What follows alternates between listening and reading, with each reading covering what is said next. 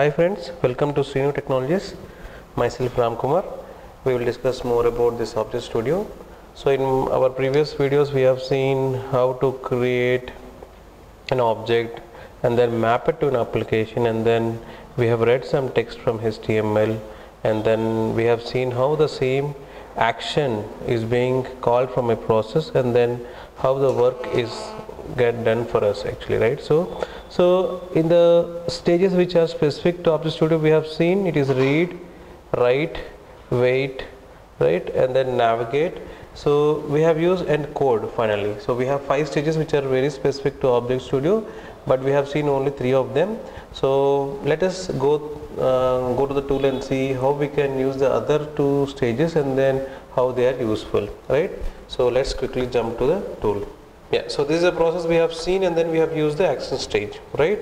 So let me go back to object studio and then try to add more here. So we will do one thing. Uh, so we have got temperature right? So what we'll do is uh, we need to use a code stage.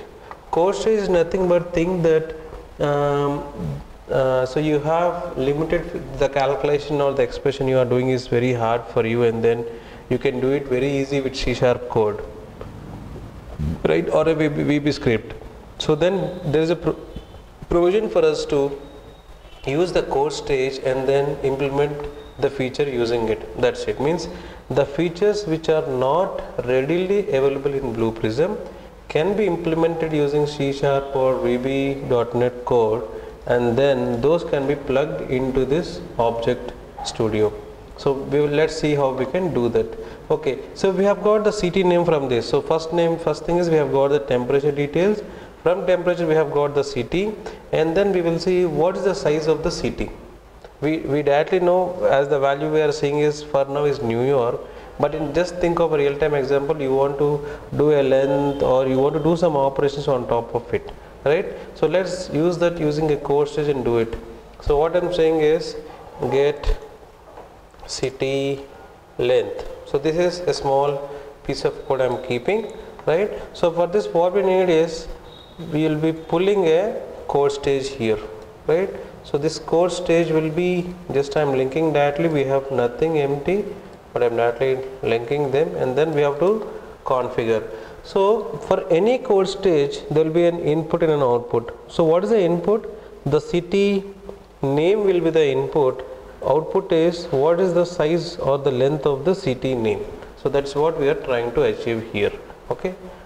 So i am adding a variable. So what should be the name?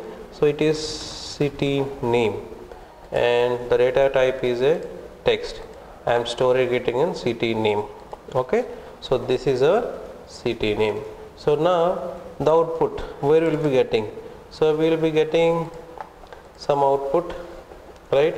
So what is so you have to see something here very keen.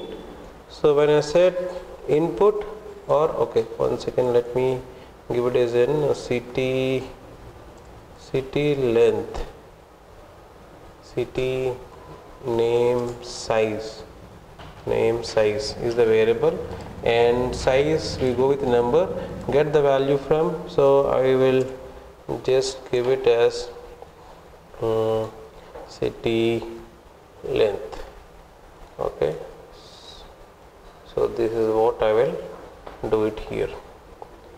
So I'll create this and then say okay. So this is our city length this is our city name. Okay. So now what we will do is we will do the actual coding here. So so for this what is the input? Means for this code what is the input? See if you see here for start the value which is coming to the start is the input for this uh, the flow. It could be an action it could be a process it could be anything. For the page whatever the variable which is coming inside is an input. Whatever variable which is tagged to the end stage is an output. Okay? This is a basic thing. So for this code what is the input what happens is sometimes we will get the input we will do some processing and then we give it to a code stage. That can be done right? Here for the sake of simplicity we are directly calling a code stage. You can have one calculation stage in between. You can uh, trim or do some left right or add some text to it and then do a size of it. Okay anything. So so i'm adding it. So what is the name? So the value is the variable which will be using city name. Data type is text. Name. So this is the name or the variable which will be used in code. So in code we have some naming conventions right where we will not use a space and then we will use a camel case right? So in that perspective i will use if you see here city and name right? No space given n is caps. This is how we do it in a normal best practice coding practice actually right? And then i will say so code code is generate or not generation we are calculating. Calculate size. Okay and what is output? What is output? We want to store it in city length. And what is output is uh, len so length. Okay this is the thing so this is the output of the code. This is city name is the input of the code. Length is output of the code. And again the output of the code means what we are saying is if you see here the city name which is there in the blue prism variable is being copied into the city name variable which is there in the code as an input.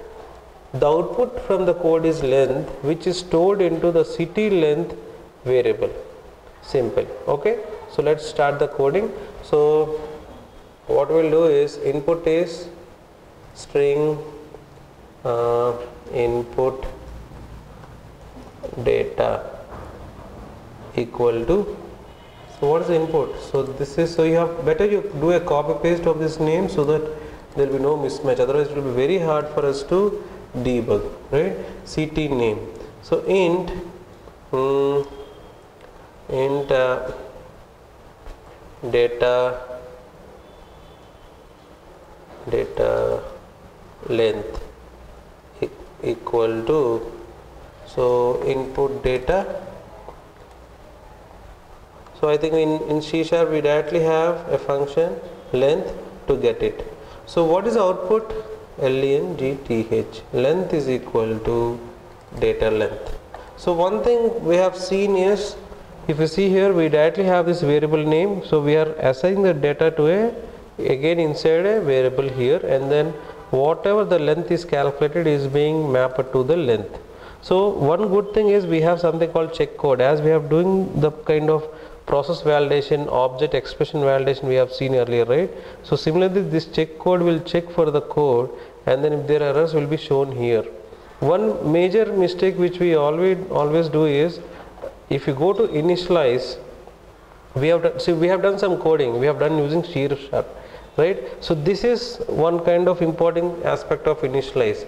So what type of code you are writing?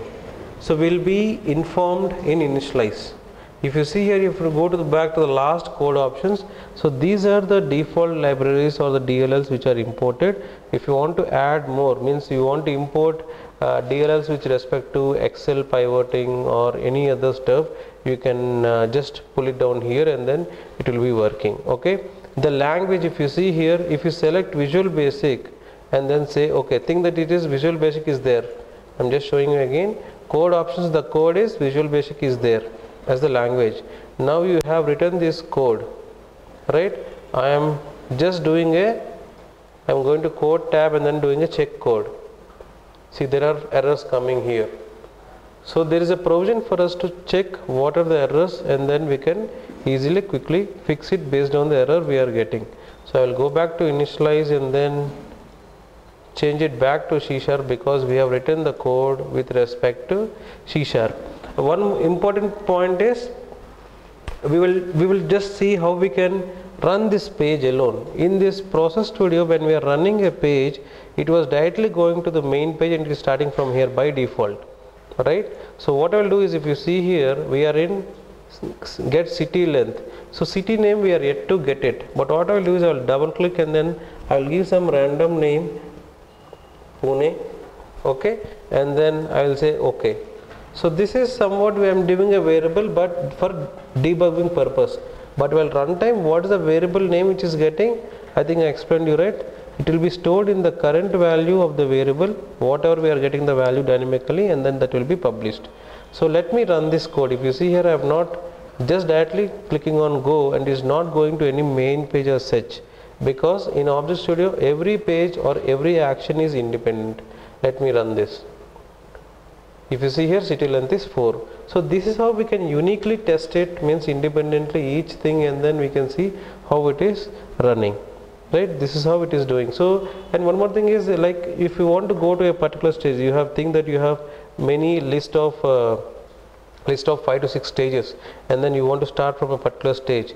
You can right click and say set next stage. When you say set next stage if you see here the control is there let me well say set next stage. If you see here the program is as if it is being paused at this stage.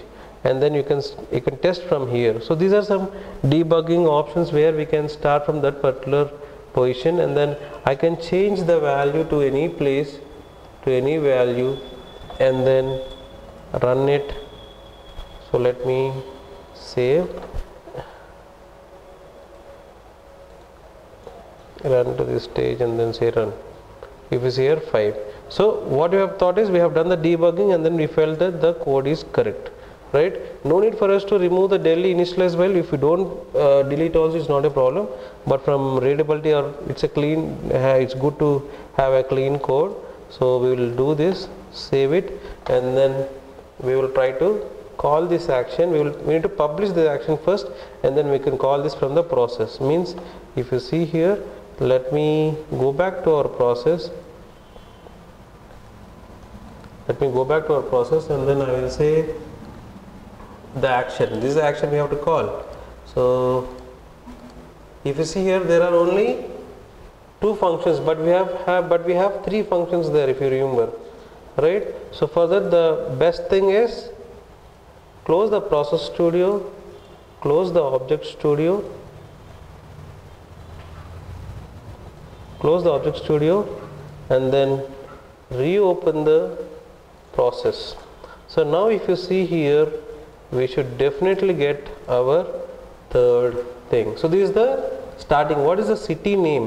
City name where we will getting? So this is the city name which we get from the second action. What is the output? City name size. I'm again creating a variable. So now we have got a new variable and then calc size. This is the action name. I am just linking it to the main process right? And then I can use it this way. So this is our city size right? Let me just increase the size for you. And then let's run this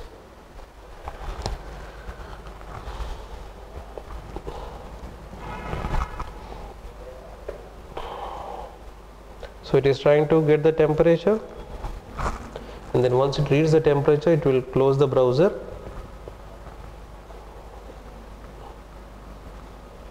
So it is still loading. Once the page loads it is red and then it should terminate. So this is one common problem again if you see. So fail to attempt read stage read report so it did not get the element. Why? Because it the system what we did is if we go back to the object studio this is one learning curve here where when you are trying to get the temperature okay? So if you see here after launch before clicking the URL we have added time and then we have kept a condition also. But when we are reading it we have not added a time delay. Means we have not kept any conditional statement because of which uh, after clicking on enter and then before the system is trying to read an element we did not find the element because the page is still under loading. So the best thing is have waits period conditional waits actually that is more recommended where I will keep 30 seconds but it will wait until it is just this thing. So what we'll do is we will do a read and then if it is check exists and then say okay okay so I need to relink it. So this is how it is right? I need to save this. And then sometimes the biggest problem is we need to close this in the process studio for better actually good to have it and then reopen right? Now I will say oh I opened object again. So let me start with the process. Let me start this. So it is opening a browser.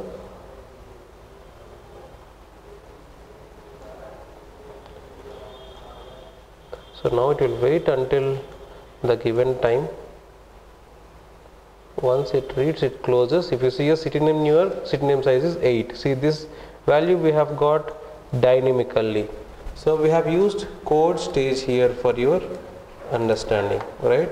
So hope you have got how we have uh, got a code stage. The other stage is write stage. So what we'll do is we will quickly what we'll do is I think we will uh, go to Google page and in the search box we will try to write something. Okay? So what we'll do is uh, search text is what is the new action which I am creating. For that similar to temperature I think these all are same. I am trying to copy if you see. There is a good thing here we can copy. Enter enter URL enter until here is very fine for us. Right? It is very easy. So I will do a control C and then control V so this if you see here I will link this to launch. And then once you get the URL we need to enter the URL right? Instead of entering the weather report URL I will be entering google.co.in so this is what I am entering here and then we need to so before that what you said we need to just see what it is first right? We have to identify how it is manually done. So manually how it is done? So once you go to google once you go to google you need to check for the search and then type something something and then you have to press enter. That is what we want to do right? So what i will do is i will launch and then i will add a application modeler and then add a new element. I need to add a new element here. So i'll be deleting existing one. So this is the one which I have. So let me launch the application so entering the URL everything which we have already right? So we will not bother about that. So we want to search for this box where we need to give the where we need to write the text and then say enter. That is our goal here. So we have got the page now and let's spy this using the application modeler so inside the same window I am saying add child and then sorry I need to add at the bottom. So what is that? So this is not a read. I want to write the search text. So I want to identify. So this is the HTML mode I am using. Control left click. I am doing it fast as we already know this. So I am I know these many are selected. So if you see I am just removed which is not used actually. And then I will say apply and highlight. So it is getting highlighted so our job is done. So I am closing application modeler closing the browser and then I am saying refresh. So after we enter the URL right? So again we have to wait for what? Yes you got me right. You have to wait for the search box to appear. So that is the condition we will be keeping here. Wait for this search box. Wait until it exists. I am having some bigger time here. No issues. And then what we should write this is the right stage which I want to use. And then I want to click on enter. I will do a copy paste also. And then followed by followed by what? So we have to terminate it actually. So I will use the same launch and do a paste here. But instead of launch I will say terminate. Close and then I will drop down I will select terminate and then I will link all these things. You can easily see how quickly I am doing this. First time is hard but the next time is so simple. So I will add a breakpoint here so that it will not close once it is clicking on enter. Otherwise you will not be seeing that what it has entered. Right? This is a simple thing. So let me run this once this is ready we will uh, remove the breakpoint okay? So let me run this. So run. So launch. Enter the url as google.co.in yes. Wait for the search box.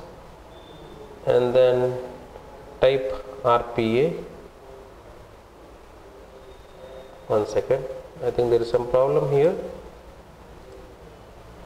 It has written. I went to breakpoint also so let me go back to the screen.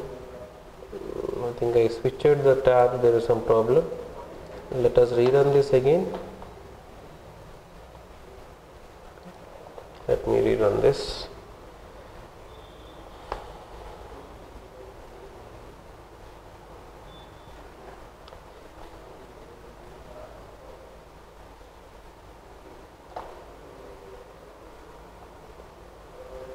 just waiting it is unable to identify thing not wait for this much time. Okay? Let us again just check once whether it is whether the thing which we have highlighted is working or not. Let us highlight. It's not getting highlighted. This is the problem again yes. So happened is for good sake you learn what is. If you see here while spying you have got highlighted now it is not getting highlighted so when it is saying not highlighted as i told if it is saying one or more more elements are getting highlighted you have to increase the number of checks. If it is saying not found you have to reduce the number of checks. I think this kind of details are not required. Normally path we don't take. Okay? Let me say and say highlight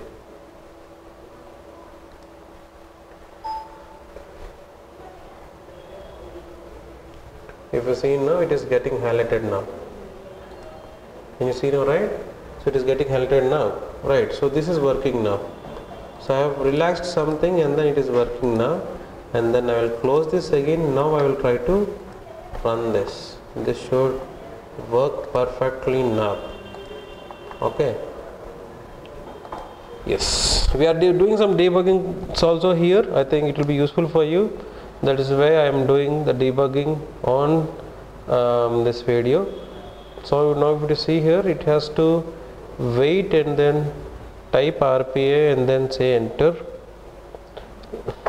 So it said it reached breakpoint. What happened? Uh, let me what happened one second. Let me quickly check what is the problem here. It is waiting for this and is trying to write. And then um, what happened? You should be able to write here. So let me add I think when we are hitting the google.in the cursor is normally loaded here actually we can send the global keys here. If it is like this if it is tab is outside means nothing the cursor is not blinking here then we can write it. But as the cursor is blinking here inside it there is no element of search. That is a problem. You have to understand okay? So let me again just see if it is able to identify. If that is the case there is a problem with search box only. The cursor which is happening so it is still searching it is able to search right? So there is no problem there. So what we have to do is let me use a tab in our so manually how we are doing we are adding some tab. So I will I use a navigate stage and then navigate stage global send keys I will say tab. So this is the syntax for tab okay? And then I will link this and then it links to this. And then let us see how it goes now. So why i'm saying tab is my intention my intention is to come here. When it is when the cursor is inside the search box it cannot it cannot identify a search box inside a search box right? So my intention is come out of this and then identify the search box and write the data. So that is my intention. So i will close this now refresh save and do. So this kind of trial and error we have to do.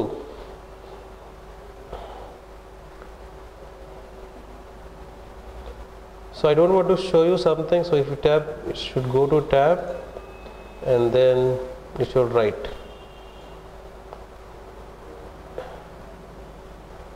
Breakpoint. What happened so why it is not writing. So it is instead of write if I say directly where the cursor is I will just use RPA and then I will try to use I am skipping this right for now and then I am saying after tab just directly say enter and then do this and terminate. So let us see if this is working right should work actually but let us see. See our intention is we have to write something so let us see. Right? So let me run this.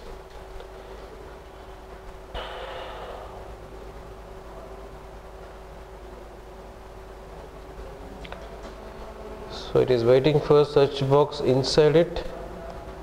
So we're not saying tab we should it should have written rpa and then said enter. If you see here it, the code worked now if you see here right? So this is also how we can do it.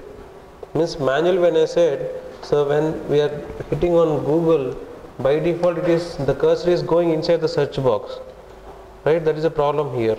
So when i say so that is the problem we are facing right? So that is why it is unable to write it inside a search box. So normally but if the cursor is outside it it will be able to write so you can try but I think I, I, I covered this code this uh, write tags all the five stages which are there in um, uh, Object Studio specifically right? So hope you have understood. Keep watching our videos. Keep learning